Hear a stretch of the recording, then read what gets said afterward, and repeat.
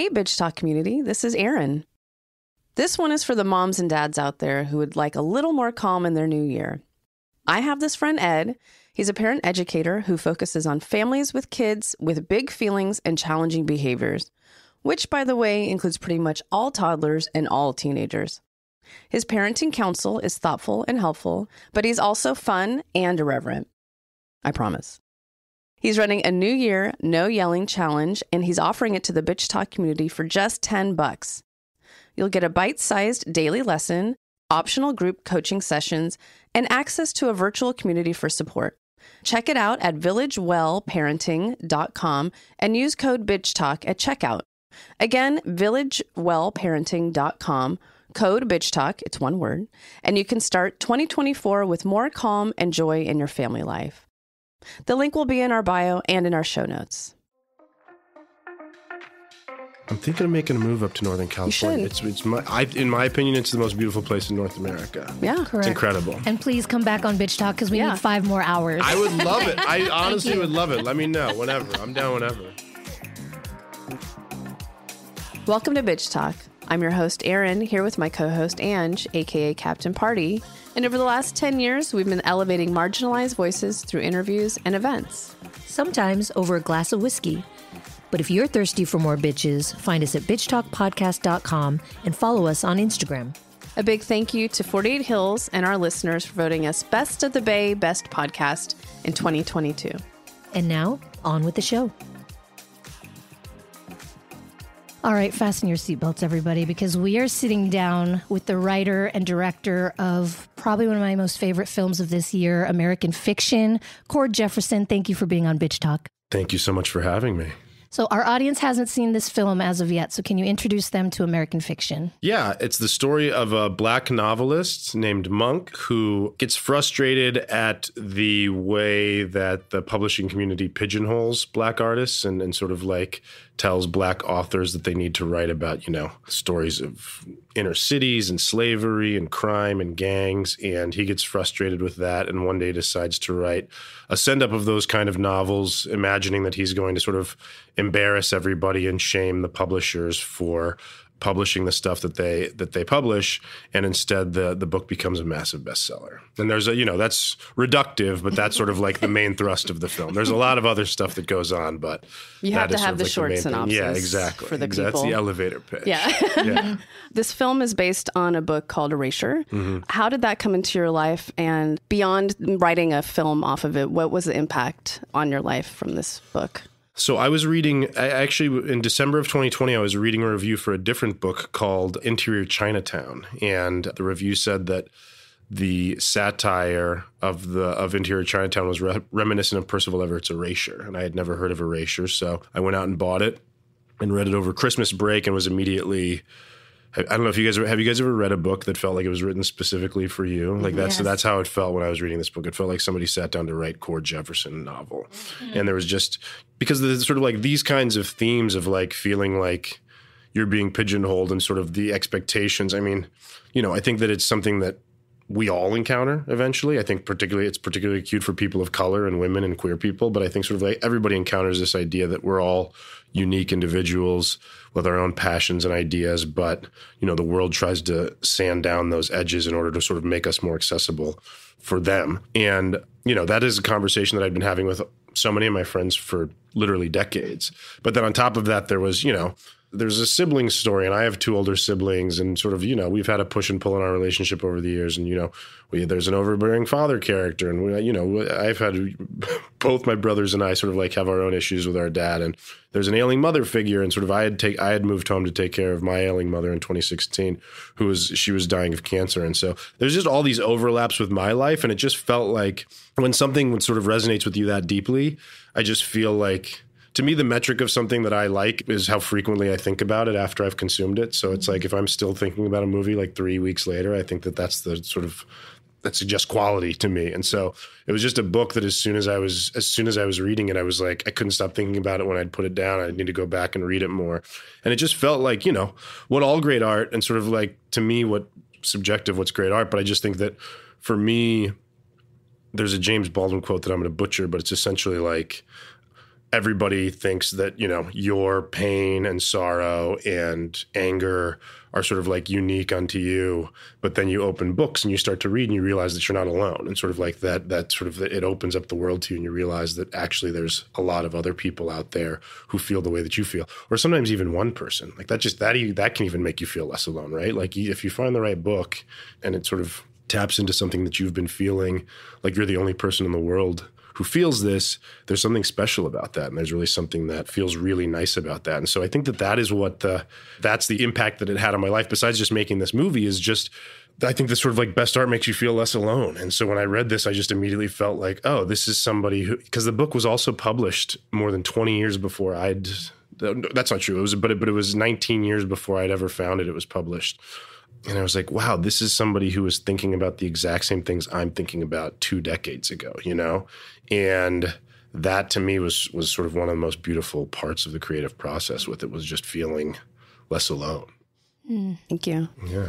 I feel like we're at a TED talk right now. I'm just like feeling the the emotions, and this movie has, like you said, stayed with me ever since we watched it. I oh, have to thank great. you so much. Thank you. And, but I really think it's important for the audience to know all these topics that you touch on: race relations, aging parents, sibling relationships, the complications of that. This is also a hilarious movie. Thank like we you. were laughing out loud. You. There are so many one-liners that thank come out you. of nowhere, thank and you. it really needs that to thank just sort of give that balance. Yeah.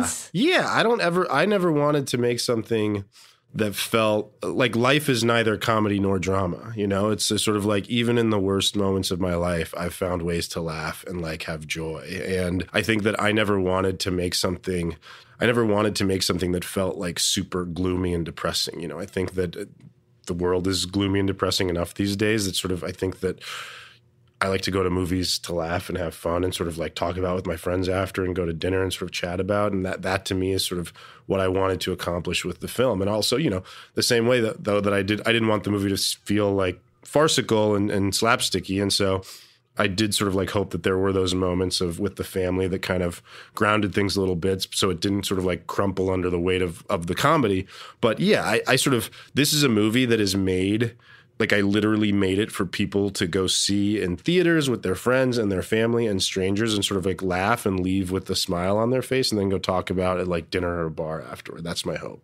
Mm-hmm. I think that, and I think that that is, that to me is like sort of, I think that there's, there's a weird thing about that like I love the Nicole Kidman ad as much as everybody else before the AMC. like it's like don't get me wrong, like I, I, sort of I love that thing, but I think that sort of like the main problem with that with that scenario is that she's in an empty theater when she's saying that and sort of like we should consider movies like live music you know? It's like it's like you can sit at home and play a record if you want to and it's going to sound good and you pro- you can have a great stereo system but there's something about being in a room with a bunch of people and experiencing this this music together and i think that that's what, how we need to start thinking of the theater experience is like it's it's like live music and so this is a movie that's really made to be enjoyed around a bunch of people so i hope people go with their friends and sort of talk about it afterward. That's my hope and dream Speaking of music, thank you for the segue.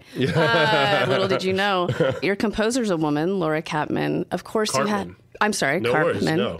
You had to have gorgeous music throughout this film and gorgeous jazz music. So, can Yeah. you talk about that? And and were you working with her? Did she do this all on her own? so I knew as soon as I started that I wanted jazz to be the score. And so met with Laura, who has a background in piano, but sort of like in everything, really. She's just sort of like a, a musical encyclopedia. And she came in with just so many great musical ideas from our very first meeting that once we started working together, it was like very collaborative. I know nothing about music. I'll say that. I know what I like, but but sort of like as far as musical composition or anything, I know nothing about that. And so that's one of the things that I really liked about making the movie was that you can just sort of work with somebody and just be very you can be incredibly collaborative with people and say like you know what? I don't know why but this just doesn't feel right. Like that's the greatest thing about music is that it is this kind of like universal language because it is so much of it so much of it is just about emotion like how something feels. And so i didn't need to know the vocabulary necessarily to say like that's an F flat. Like I don't I don't know if I like that. It was more just like, you know, I don't think I think this sort of like the mood here is a little bit different. Or I think that this is like a little too treacly sounding and sort of like maybe we draw back on that a little bit. And it was this incredible collaborative process. And she was amazing because she was totally willing to sort of collaborate in sort of like a very natural way, but also she was also really welcoming when I, you know, when I was open about the fact that I didn't know stuff because I had never directed a movie before. I'd never written a movie before. And so it felt like she was very gentle with me when I sort of came in and said clearly, like, I don't know what I'm doing necessarily, but I really do want to work with you and make this as good as possible. It's so good. All, you all so three of us were like that Thank music. so Dancing, much. Grooving beautiful, from the right? beginning. Thank Yeah. you so much. I, and I think that like America, I, I think that jazz is such a people call it American classical music. It is such this like to me. I was raised in a jazz household. My dad played tons of jazz when I was. He still does play a ton of jazz. So it's this American art form that I that I worry is like falling off, unfortunately, and sort of not, not doesn't have the audience that it used to here in the states. And so I still love it though, and I I still sort of wanted to make sure that it was part of the film, despite the fact that you know it's not as cool as it once was, unfortunately. But I love it. Mm. Yeah, one of my favorite parts of the film, and one of the most realistic parts, I think, are the strong women characters who just really ground the story and bring a lot of heart to it, Absolutely. specifically Lorraine, Coraline, and Lisa. Absolutely. So, can you talk about how you wrote these women characters and how you made them so impactful, regardless of how much they, time they spent on screen or not? Yeah, absolutely. I think that for me, well, allow me to sort of like do a lot of therapy talk right now. I think that I've struggled a lot in my life with sort of like the lessons of like, I hate to use this term, but I'll just use it because it's the easiest shorthand toxic masculinity. I just think it's sort of like, if you're a young man raised in the United States of America, especially sort of like at a certain time and sort of like getting all these lessons by proxy and also lessons that you might get at home, you sort of like grow up with a certain understanding about how how to be a man in the world. And I certainly grew up with those lessons. And I, for a long time, spent a lot of my life closed off from the world and kind of angry and I would hide myself. And I sort of like, I had this great therapist one day who told me that anger is actually not a real emotion. She said, like, it's a secondary emotion. And actually, underneath anger, always, particularly for men, is fear or pain. And that's sort of like the way that men learn that they can express those emotions is through anger and rage. And it's because it's sort of like, as a man, you're not really allowed to say, like, you hurt my feelings, despite the fact that that's what you're feeling, is like, you hurt me. And so instead, you sort of like rage and yell and rant. And so this movie is populated with male characters, particularly Monk, but also, you know, and also Cliff, who who kind of they're running away from their feelings and they're hiding them and they're lying to everybody and they've sort of like isolated themselves because they're so unwilling to sort of tell people like you hurt me or sort of like I feel scared or I feel lonely.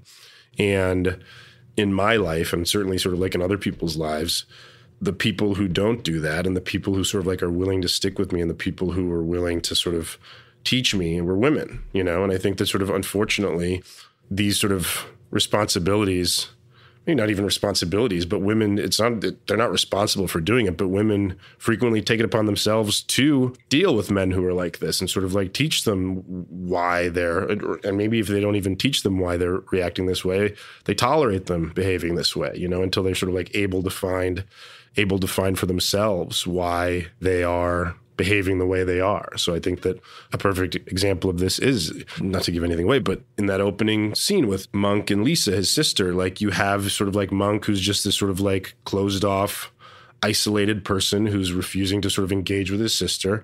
And she takes it upon herself to kind of break the ice and is like, okay, I see how this is going to be if I don't if I don't take it upon myself to sort of like talk to him and try to initiate a relationship, like he's never going to meet me halfway. So I need to be the one who goes out goes out of my way and does this, you know. And you see this with Coraline, you see this with Agnes. You, you there's just a lot of. I sort of felt that it was realistic and sort of like actually realistic in my life that there are these men who are just unwilling to connect with their feelings. And so they've surrounded themselves with women who are connecting with their feelings and are trying to sort of like help convince them to come out of their shells a little bit. And so that to me was incredibly important and also incredibly authentic to to my life and sort of uh, I think life in general. I do think that that, that is a I don't think that's a unique story unto me, I'll say. I know we have to wrap. I have one last question for you. Please. So you're in San Francisco for the Mill Valley Film Festival, but are you going to be writing an eater piece I just did. about San Francisco? Oh, wait, no, no. Oh, I saw the. I read the Did you Vegas read- one. This Did you morning. read the Vegas one this morning? Wow, you're a quick reader. I, a little. I, I, I'm gonna. I'm not gonna lie. I'm halfway through. It just It's- came out. Okay, I was gonna novel, say. but it's really funny. no, are you you. writing one about San Francisco? I wish. I will I was just saying like I love this city. Thank you. I we do too. If I could, if I could, if I could do my job in Northern California, I think I would. And I and I promise you, like, I'm thinking of making a move up to Northern California. should. It's it's my, I, in my opinion, it's the most beautiful place in North America. yeah. correct. It's incredible. And please come back on Bitch Talk because we Yeah. need five more hours. I would love it. I honestly would love it. Let me know whenever. I'm down whenever. Thank you so much. It's been an honor. We've been speaking with Cord Jefferson. Go see American Fiction. It's Bitch Talk approved. One of the best films of the year. Thank you so much. I appreciate it. Thanks for joining us on today's show. You can find more information about this episode in our show notes. If you're missing us, you can visit us at bitchtalkpodcast.com to sign up for our newsletter and buy us a cup of coffee. Did you know we're also on the radio? You can find us at bff.fm. And lastly, rate and subscribe wherever you listen to podcasts. All the cool bitches are doing it. This podcast is a proud member of the BFF.FM podcast network. Learn more at podcasts.bff.fm. BFF.FM, best frequencies forever.